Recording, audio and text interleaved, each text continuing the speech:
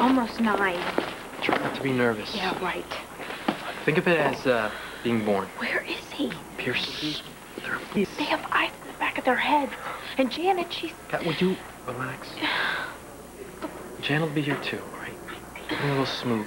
This whole thing could backfire, Scott. It could blow up in my face. I mean, just look at Brooke. Look how happy she is. She has no idea Pierce is home. And Jamie, I mean, he's crazy Laura, Laura, about Laura, the guy. I should Laura, have told Laura. him. I promise. Nothing will go wrong. Hi. Hey, Janet, you made it. I, How can I stay away on your red list? thank you. Hi, Scott. how you doing? Listen, I, I, I talked to Phoebe. I we had words, and uh, she promised she would be civil. I even brought Jamie a present. I got your big sister, so he'll feel special too. Sweet. Obviously, in this case, Laura's original birth certificate won't be sealed. Right. However, the state has some regulations regarding signatures. Oh, Needed here. okay. Well, that's no problem. Um, oh, Janet, hi. Hi. Hi. look, Janet brought a, a present for Jamie. Isn't it sweet? Oh, that was very thoughtful of you. So, uh, are you okay? Yeah. Yeah? Okay. Um, just one more. Um, paper that needs your signature? Sure, sure. Yeah? Thank you.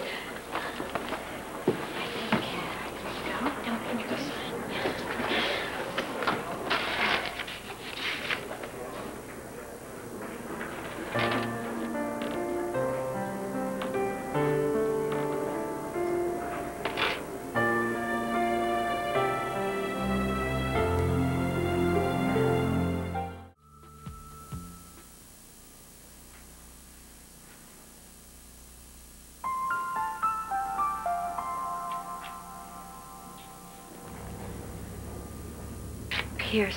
I remember you. Oh, it's good to see you. You look wonderful. This is the nicest surprise I've had in a long time. You didn't tell Brooke I was coming? No, I, I called Pierce and told him about the adoption ceremony. It's the best thing that could have happened for both of you. What about me? What about you, jet pilot? you got a great family here, Brooke. Your family too, dear. I, I really wanted Pierce to be here. Well, of course you did. Hey, um, look, if you're expecting a crowd, I can wish you all the best and We want you here, Pierce. Really. Please stay. try to get rid of me.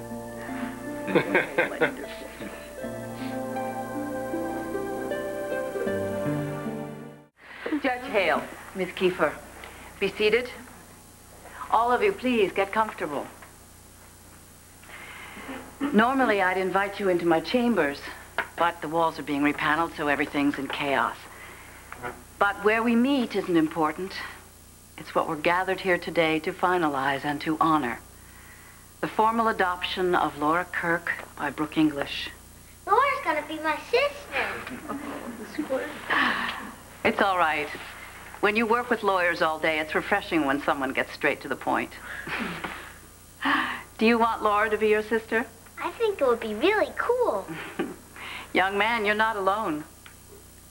Having had time to review statements submitted by Ms. English's friends, family, and co-workers, and with the full endorsement of social services, I am pleased to declare that you have been granted full custody of the minor child, Laura Kirk. Miss English, I understand that you and your daughter would like to say a...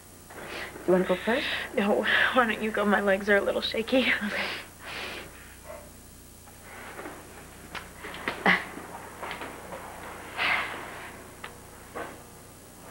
My daughter. It's, it's, um, it's music to my ears.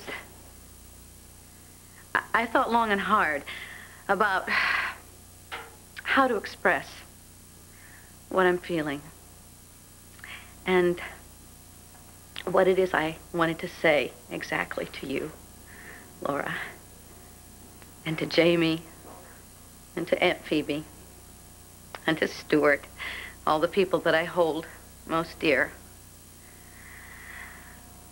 And I guess I finally came up with two very simple, very heartfelt words. And thank you. Thank you for choosing us and for giving us the gift of who you are. For letting us share in your life and love you.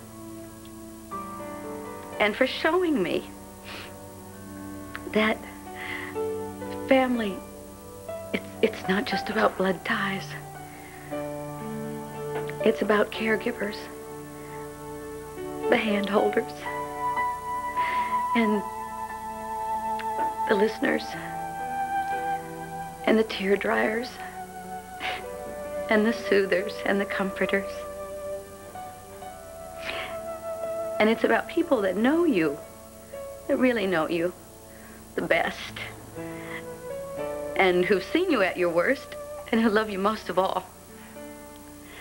And family is a place where the door is always open, and where the light in the window shines bright and steadfast. And if you ever lose your way, the only thing you ever have to do is listen to your heart and you'll find your way back. And I'll be there to welcome you home.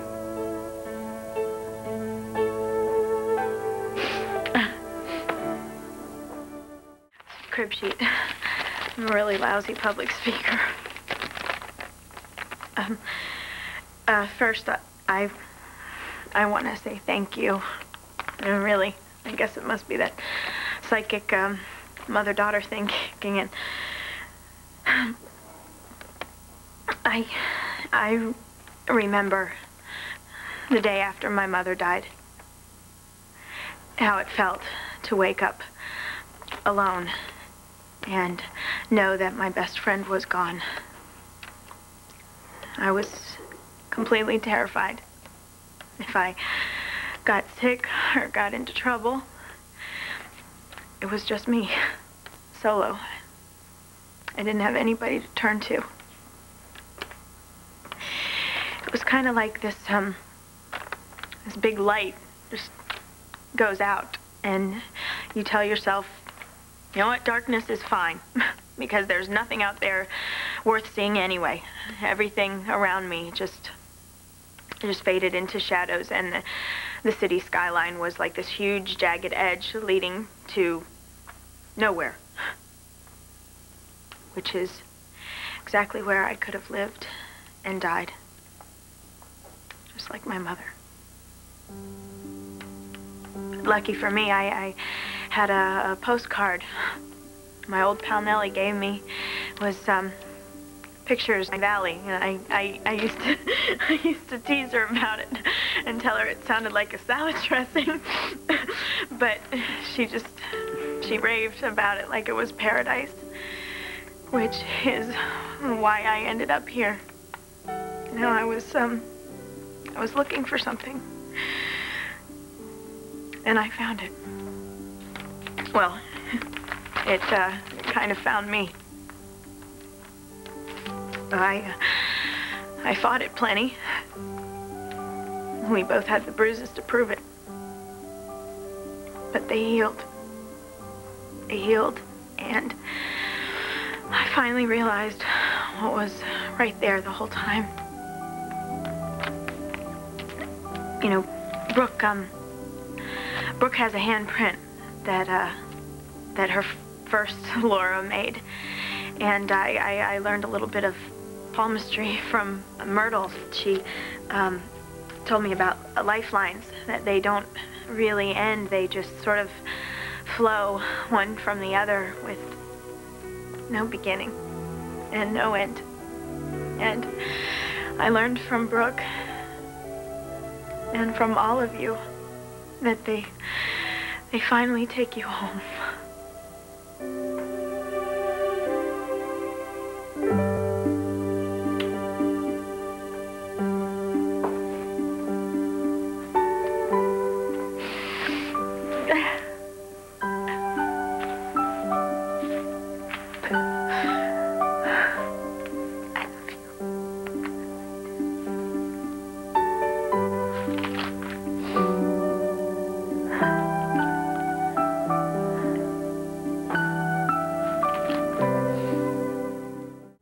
So proud of you. I'm so glad you came. Really? You saved my life. You saved mine, too. I would never have made it out there in the woods without you. Well, well, Pierce was the one who nursed you back to health. More than that. He brought us both back to life. Yeah, we were a family. We were. No one can take that away from us. We'll always have it. I'll always love you. I'll always love you. So, um, we're all gonna go to holidays to celebrate, so will you come? Thanks, uh, I- I can't. I mean, I really appreciate you including me, but I've got to get back to work. Don't be a stranger. Impossible. Have fun. Bye. Hey, how do you feel? Oh, I feel like I belong. Like I really belong. Great. I just wish all my cases ended so happily. Oh, listen, I appreciate everything that you that you did to make this happen. Oh, all I did was file a formal petition. You and Laura made it happen. Um, we're gonna have a little celebration at holidays. Would you want to come and join me? I wouldn't miss it for the world. Oh, great, great. There. You two did yourselves proud today.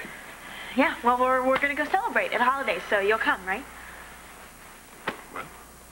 It wouldn't be a party without you. And you can count on me to be there.